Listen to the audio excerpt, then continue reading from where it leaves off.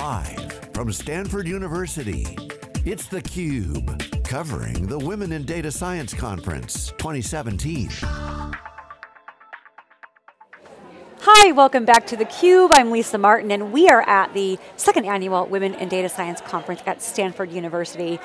Such an inspiring day that we've had so far, and right now we're joined by Megan Price, the Executive Director of the Human Rights Data Analysis Group. Megan, welcome to theCUBE. Thank you. It's so exciting to have you here.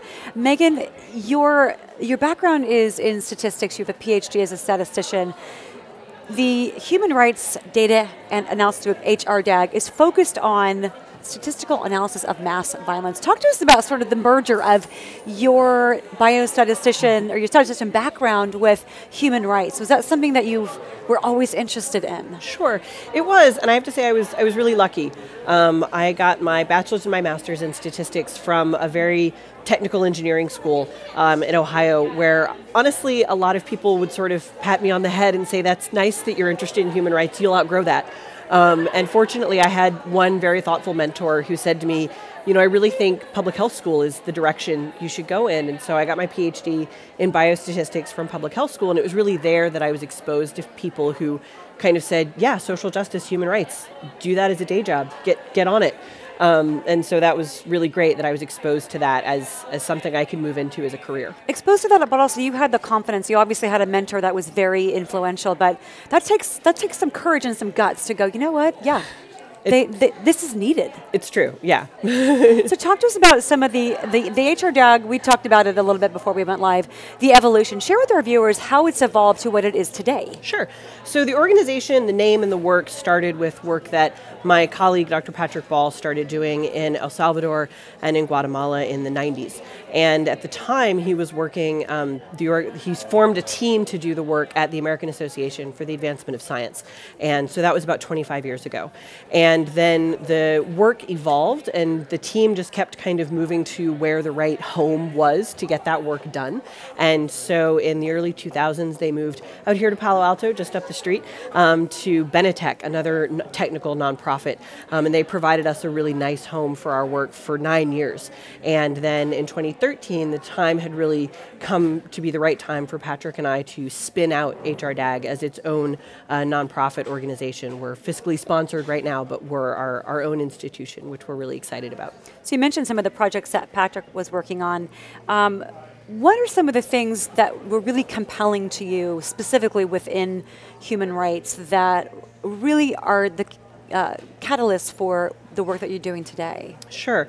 I think that there are a lot of quantitative questions that get raised in looking at these questions about widespread patterns of violence and asking questions about accountability and responsibility for violence. And to answer those questions, you have to look at statistical patterns. And so you need to bring um, a deep understanding of the data that are available and the appropriate way to analyze and answer those questions. How do you uh, from an accuracy perspective, I, I, understand that that's incredibly vital, especially where this, these um, important issues are concerned. How does HRDAG um, eliminate, mitigate inaccuracy mm-hmm. issues with respect to data? Yeah, well, we're always thinking about each of our projects as taking place in an adversarial environment because we ultimately assume that at the end of the day, our results are going to be either subjected to the kind of deep scrutiny that comes along with any kind of socially and politically sensitive topic, or with the kind of, of scrutiny that happens in a courtroom.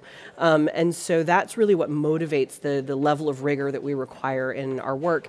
And we maintain that by maintaining our relationships with mostly academicians who are really pushing these methods forward and staying on top of what is the most cutting edge approach to this problem and how can we really know that we're being as transparent as possible in the way this data were collected, the way they were analyzed, the way they were processed, and the limitations of those analyses, you know, the, the uncertainty present in any estimates that we put out. Give us an example of some of the data types, data sources that you're evaluating, say for the conflict in, in Syria? Mm -hmm.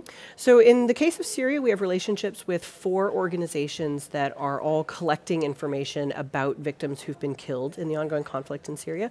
Those groups are the Syrian Center for Statistics and Research, the Syrian Network for Human Rights, the Damascus Center for Human Rights Studies, and the Violations Documentation Center. And those are all citizen led um, by groups that are maintaining networks collecting that information to the best of their ability. And they share with us largely Excel spreadsheets that contain names of victims and then any other information they were able to collect about those victims. You mentioned university collaboration a minute ago. Uh, from a methodology standpoint, give us a, an insight into you're getting data from these various sources, largely Excel, where we know Excel with Excel comes humans, comes sometimes oops. Um, how are you working with universities um, to help?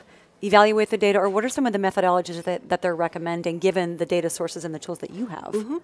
So there's really two stages that the data go through, and the first one is within the groups themselves who do that first layer of verification, and that is the human verification prior to kind of all the risks of data entry problems. Um, and so they're doing the on the ground, making sure that they've collected and confirmed that information. But then you're absolutely right. We get this data that's been hand entered and with all of the risks and potential downsides of hand entered data. and so primarily what we do is fairly um, conventional data processing and data cleaning to just check for things like outliers, contradictory information, um, and we'll do that using Python and using R.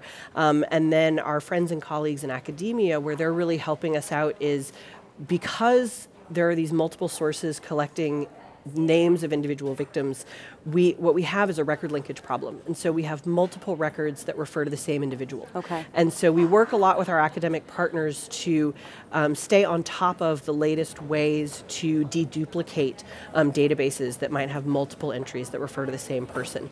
Um, and so that's been really great lately. Okay. Um, what are some of the the methods that you've used in Syria to quantify mass violence, and what have some of the outcomes been to date? Mm -hmm. So we rely primarily on methods from record linkage, and that gets us to what we know and can observe. And then from there, we need to build and estimate what we don't know and what we can't observe. Because inevitably in conflict violence, some of that violence is hidden. Some of those victims have not been identified or their stories have not been told yet. And it's our job as data scientists to use the tools at our disposal to estimate how much we don't know. And so for that step, we use a class of statistical tools called multiple systems estimation. And essentially what that does is it builds on the patterns of data as they're collected by these multiple sources to model what the underlying population must have been to generate what we were able to see. Okay. And so that's been the primary the primary analysis we've done in Syria and what we found from that analysis is that as valuable and important as the documented data are, they often are overwhelmed for example, when violence peaks, it may be too dangerous and it may be impossible to accurately record how many people have been killed. Okay. And so we need a statistical model that can help us identify when the data we observe seem to plateau, but perhaps our estimates tell us, no, in fact, that was a very violent period. And then we can dig in with field experts and interpret, well, is that a time when we know that territorial control was in contention? Or is that a time when we know that there were clashes between certain groups? And so then we can infer further from that about responsibility for violence. So applying some additional uh, attributors, things that are attributing to this. What are some of the, the, the differences that you think that this has made so far? Um, what I hope this, this has done so far is simply to raise awareness about the scale of the violence that's happening in Syria. And what I hope ultimately is that it helps to um, it helps to attribute accountability to those who are responsible for this violence. You've also got some projects going on in, in, Guatemala. Can you share a little bit about that? We do, yeah. We have a couple of projects in Guatemala. The one that I've worked on most closely is looking at the historic archive of the National Police in Guatemala. Mm. And that's actually the project that I started working on when I joined HRDAG. And, the, and Guatemala suffered an armed internal conflict from 1960 to 1996. And during that time period, many witnesses came forward and said that the National Police Force participated in the violence. But at the time that the UN, the United Nations brokered peace treaties, they weren't able to find any documentary evidence of the role the police played. And then in 2005, quite by accident, this archive, that's this cache of the police force's bureaucratic documents was discovered. And so we've been studying it since then. And it's been this really fascinating problem of you have this building full of millions and millions and millions of pieces of paper that are not really organized in any way, and how do you go about studying that? Mm-hmm. And so we partnered with uh, other experts from the American Statistical Association to design a random sample of the archive so that we could learn about it as quickly as possible. What are some of the learnings that you've discovered so far? Well, what we've discovered so far is just the sheer magnitude of the archive, and in particular, the amount of documents that were generated during the conflict. And then the other thing that we have discovered is the communication flow, the pattern of documents being sent to and from leadership within the National Police Force. And specifically, Patrick Ball testified about that communication flow to help establish command responsibility for the former chief of police for a kidnapping that occurred in 1984. Wow, incredibly impactful work. But you've got some things on the domestic front. Share with us a little bit about what you're working on stateside. We do, yeah. In the past year, we've started our first US based project, which we're really excited about. And it's looking at the algorithms that are being used both in predictive policing and in criminal justice risk assessment. So, decisions like whether or not someone should get bail or pretrial hearings, things like that. Um, and We've been working with partners, uh, primarily um, lawyers, to help assess sort of how are those algorithms working and what's the underlying data that's being fed into those algorithms, and what's the ways in which that data are biased, and so the algorithms are replicating the bias that exists in the data. Tell me about how does that conversation go for as a statistician with a lawyer who who is you know a business person? What sort of educating do you need to do to them about the impact that this data can make and the how imperative it is that it be accurate. Yeah. Well, those conversations are really interesting because there's so much education going in both directions. Right. Where both we are helping them to turn their substantive question into an analytical question and sort of develop it in a way that we can do an analysis to get at that question. But then they're also helping us to understand what's the way in which this information needs to be conveyed so that it holds up in court and so that it establishes some sort of precedent so that they can make policy change. Well, it makes me think of sort of this, the, the topic or the skill of communication. A number of our guests this morning on the program and those that we've heard um, speaking today talk about sort of the traditional data scientist skills, you know, hybrid hacker, um, someone that ha- st- static statistics, um, mathematical skills, but n- now really looking at somebody who also has to have other behavioral skills, being able to be creative, interpret the data, but also to communicate it. I'd love to get your mm-hmm. perspective as you've seen data science evolve in your own career. How have you maybe trained your team on on the importance of communicating? This information so that it has value and it has impact. Mm-hmm. Absolutely, no. I think I think creativity and communication are probably the two most important skills for a data scientist to have these days, and that's definitely something that on our team, um, you know, it's it's always a painful process. But every time we give a talk, if we're fortunate enough that it's been videoed, um, we always have to go back and watch that. And I recommend to my teammates, you know, to do it quietly at home alone, maybe with their preferred beverage of choice. um, but that that's that's the way that you learn and you right. discover. Oh, that I, I could have said that differently, or I could have said that another way, or I could have thought about a different way to present that. Because I do think that that's absolutely vital. I'm, I'm just curious what your perspective is from a curriculum standpoint. We've got a lot of students here. We've got some professors here. Is that something that you would recommend as part of? If you look back to your education. Mm-hmm. Would you think, you know what, being able to understand statistics is one thing. I need to be able to communicate it. Mm-hmm. Is, was that something that was part of your curriculum or something that you think, you know what, that's a vital component of this? It's absolutely a vital component. It was not part of my formal curriculum, but it was something that I got out of graduate school because I was very lucky that I got to teach essentially Statistics 101 to introductory um, public health students. So they were graduate students, um, but they were a lot of students who maybe hadn't had a math class in a decade and were fairly math phobic. And so I really. Sounds like me. so we could, you know, hold hands okay. and get through it together. Oh, good. Beverage of my choice. Awesome. exactly.